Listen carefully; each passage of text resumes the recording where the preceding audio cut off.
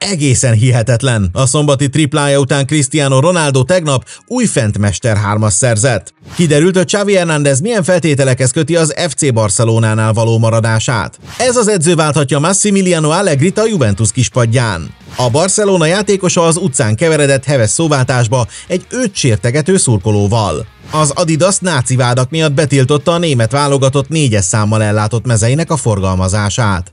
Üdvözlünk titeket a Tikitaka tévén, ahol ebben a videóban az Unibet támogatásával beszámolunk nektek a legfrissebb foci hírekről. Mielőtt rátérnénk a foci világ híreire, örömmel tudatjuk veletek, hogy a mai videónkat támogató Binance és a Ferencvárosi Tornaklub ismét elindítja azt a korábban nagy sikert arató közös nyereményjátékát, amely során minden egyes Fradi által szerzett gól után pénz ütheti a markotokat. A nyereményjátékban történő részvételhez nem kell más tennetek, mint regisztrálni a Binance-re, elvégezni az ügyfélazonosítást, majd a részvételetek megerősítése céljából rákattintani az oldal tetején található Regisztrálj most gombra. Ezután pedig már csak szurkolnotok kell a Fradinak, hogy a március 31-e és május 4-e között lejátszott tétmeccsein minél több gólt lőjön. És miután minden Fradi találat után egy dollárnyi kriptovaluta jár, ami átszámítva mintegy 360 forintnak felel meg, a zöldfehérek pedig becsenkénti átlagban nagyjából 2,6 alkalommal találnak az ellenfele kapujába, mérkőzésenként akár több mint 1000 forinttal is gazdagodhattok, miközben ehhez semmiféle pénzkiadással járó tevékenységet nem kell folytatnotok a Binance-en. És bár a nyereményjáték elsősorban az újonnan regisztrált felhasználóknak szól, de azok is részt vehetnek benne, akik már rendelkeznek Binance fiókkal, csak számukra 0,2 dollár a gólonként megszerezhető jutalom az 1 dollár helyett. Ha szeretnétek részt venni ebben az egyedülálló nyereményjátékban, akkor első lépésként regisztráljatok a videó leírásában található linken keresztül a Binance-re. A kampányjal kapcsolatos bővebb információkért pedig látogassatok el a nyereményjáték oldalára, amihez szintén elhelyeztünk egy hivatkozást a videó leírásában. Videónk első felében tekintsük át, hogy mi történt az elmúlt két napban a világ futballpályáin. Hétfőn lejátszották a Serie szombaton elrajtolt 30. fordulójából hátra lévő öt meccset is.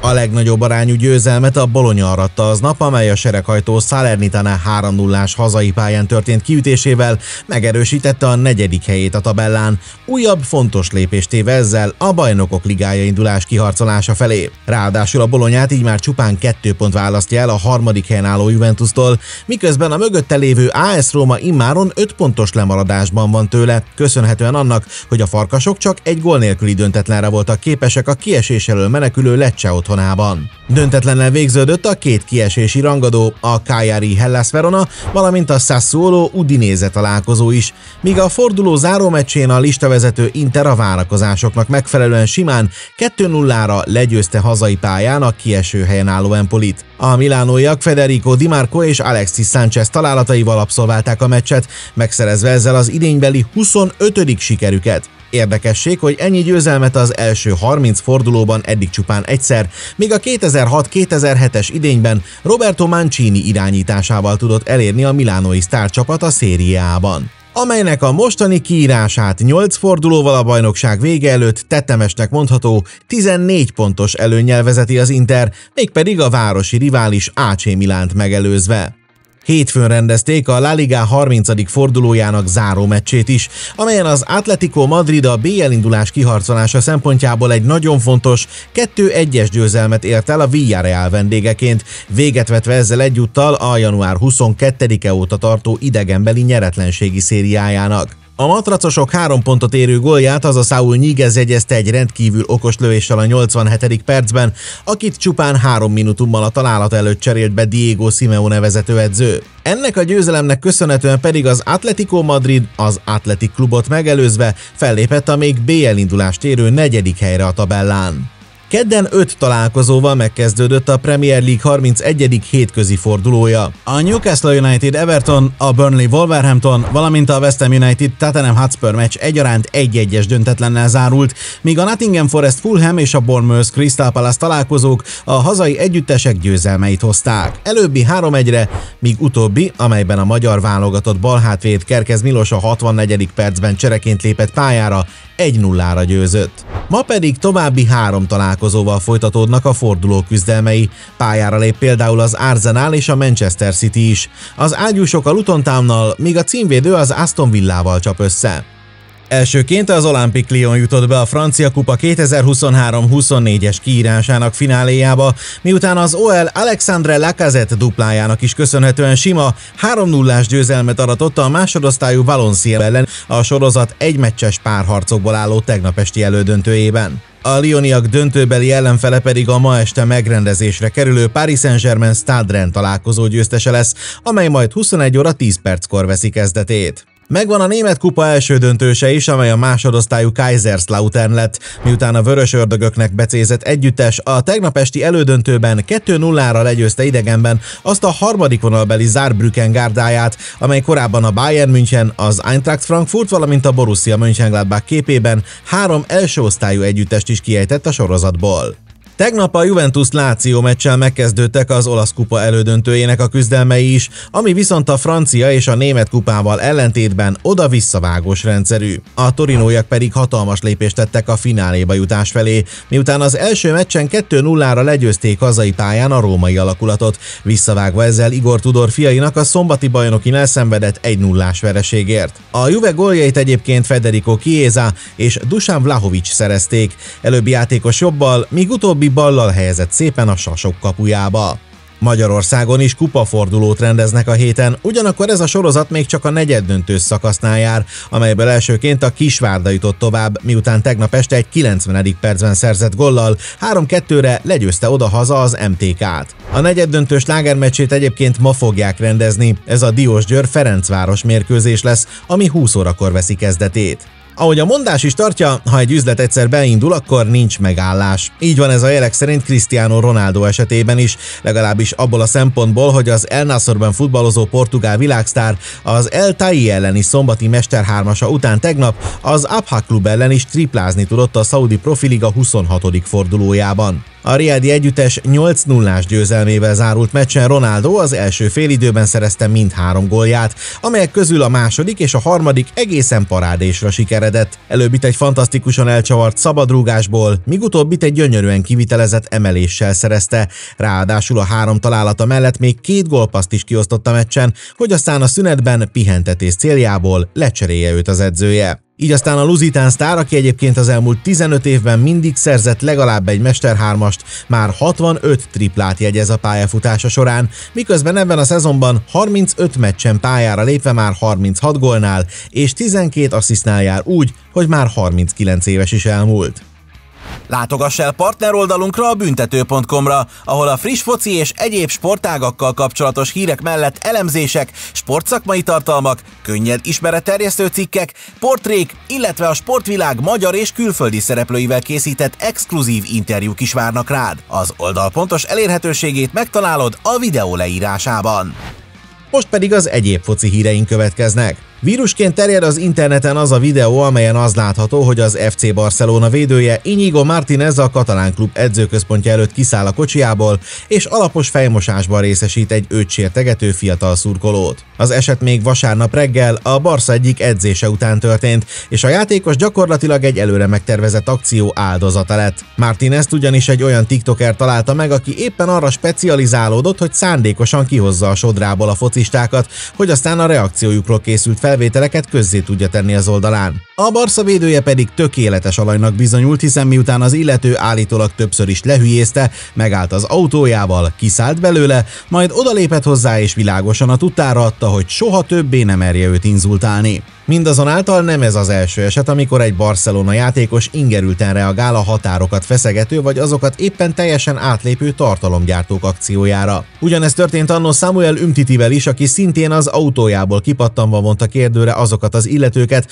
akik a kocsia előtt ugrálva próbálták megakadályozni a továbbhaladását.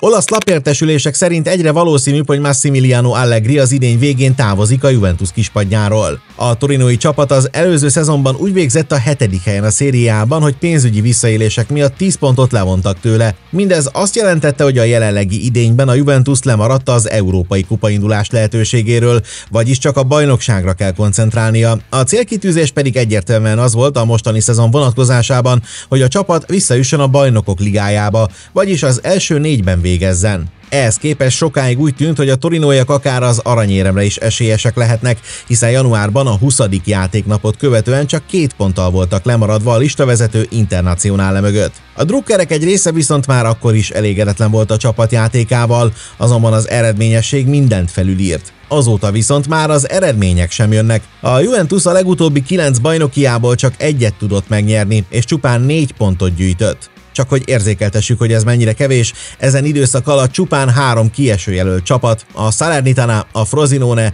valamint a Sassuolo tett szert kevesebb pontra a szériában. Mindezek következményeként a Juventus visszacsúszott a tabella harmadik helyére, és amellett, hogy 6 pontosan nőtt a lemaradása a második AC Milánnal szemben, már a negyedik Bologna is szorosan ott van a sarkában, vagyis immár a dobogós pozíciója is komoly veszélyben van és ugyanez igaz a csapat edzőjének, Massimiliano Allegrinek az állására, olyannyira, hogy a legtöbb olasz sajtóorgánum megegyezik abban, hogy az 56 esztendő szakember az idény végén távozni fog az együttes kispadjáról. Így tudja ezt a calciomercato.com nevű weboldal is, amely már azt is tudni véli, hogy a torinói klubvezetés kivel akarja őt pótolni. Ez a valaki nem más, mint a bolonyával ebben a szezonban remeklő Tiago Motta, aki azért is vonzó célpont az ebrák számára, mert a nyáron lejár a szerződése jelenlegi klubjánál, így nem kell érte kompenzációs díjat fizetni. Igaz, ezelőtte még egyességre kell jutniuk Allegrivel is, hiszen a jelenlegi tréner szerződése 2025-ig szól, és ha azt idő előtt egyoldalúan felbontják, akkor neki és a stábjának 20 millió eurós végkielégítés jár. A német sportszergyártó cég az Adidas úgy döntött, hogy nem engedélyezi, hogy a német válogatott mezét egyéni kérésre olyan számmal forgalmazzák, amely a négyest is tartalmazza, miután ez a szám a jelenlegi betűtípussal a náci Németország idején aktív félkatonai szervezet az SS szimbólumára emlékeztet. Ezt a problémát először egy történész, nevezetesen Michael König vetette fel, aki a stílusválasztást igencsak megkérdőjelezhetőnek minősítette. Az Adidas a szóvivőjén Oliver Brüggenen keresztül természetesen rögtön leszögezte, az SS által használt S betű, valamint az általuk tervezett négyes szám közötti hasonlóság nem szándékos, illetve hogy a cégük az idegen gyűlölet, az antiszemitizmus, az erőszak és a gyűlölet minden formáját elítéli és elutasítja. Emellett az Adidas képviselője azt is elárulta, hogy újra fogják tervezni a problémás négyes számot a válogatott mezén, így az hamarosan ismét elérhető lesz a boltokban. Úgy tűnik, hogy megvan az FC Barcelona első nyári távozója. A neves transferguru Fabrizio Romano ugyanis hétfőn arról számolt be az X oldalán, hogy értesülései szerint Marcos Alonso a szerződése lejártával biztosan távozni fog a szezon végén a gránátvöröskékektől. A 33 éves spanyol balhátvéd 2022. szeptemberében átigazolási díj nélkül került a katalán sztárcsapathoz, ahol ugyan az első idényében még rendszeresen játszott, de már akkor is csak kiegészítő embernek számított Xavi Hernández vezetőedzőnél. A mostani szezonban viszont már csereként is alig kap lehetőséget, ami csak részben magyarázható azzal, hogy egy műtétet igénylő sérülés miatt december és március között közel négy hónapon keresztül harcképtelen volt. Hiszen ha éppen egészséges, akkor is általában csak a kispadot koptatja, így aztán teljességgel értető, hogy a Barcelona és a játékos sem forcírozza a közös munka folytatását, és inkább hagyják leketyegni az egymással kötött 2024. júniusáig szóló szerződésüket. Ugyanakkor nem kizárt, hogy Alonso a következő szezonban is a La Ligában látjuk majd játszani, mert hogy a madridi Cadena Ser rádióállomás tegnap arról számolt be, hogy az Atletico Madrid szóban már meg is állapodott a védővel arról, hogy a nyártól náluk folytatja a pályafutását.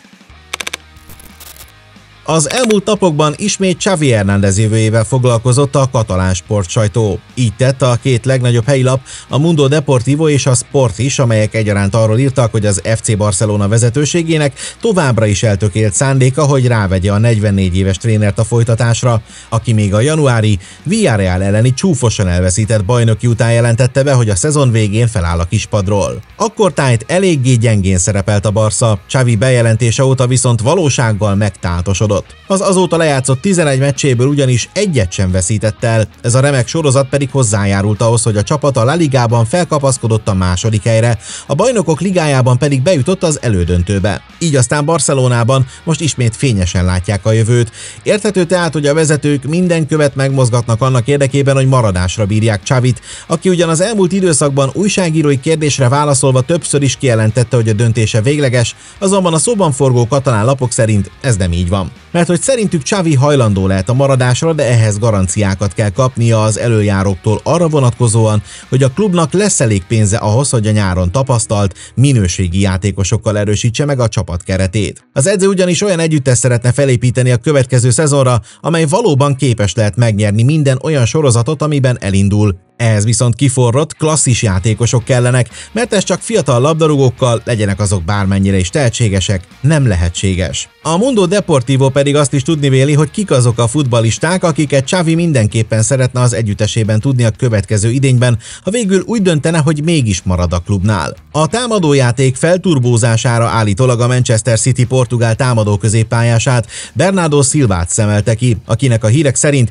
50 millió euró körüli kivásárlási záradék játék szerepel a szerződésében, ami ha igaz, akkor a Luzitán megszerzése egyáltalán nem tartozik a lehetetlen kategóriába, még a Barca számára sem, míg a középpálya közepére olyan játékosokat igazolna, mint a Bayern Münchenben szereplő Joshua Kimmich vagy a Real Sociedadot erősítő Martin Zubimendi. Hogy közülük érkezni fog-e valaki a Barszához, az a jövő zenéje. Minden esetre mind a sport, mind a Mundo Deportivo azt állítja, hogy ha a vezetés tudja garantálni Csavi számára, hogy lesz elég pénz egy versenyképes együttes felépítésére, akkor az edző hajlandó lehet átgondolni a távozásáról hozott döntését. Ezzel pedig az összeállításunk végéhez érkeztünk. Írjátok meg a véleményeteket az elhangzott hírekkel kapcsolatban a videó alatt kommentben. Ha pedig tetszett az összeállítás, akkor nyomjatok rá egy lájkot, és ha eddig még nem tettétek volna, akkor iratkozzatok fel a csatornánkra.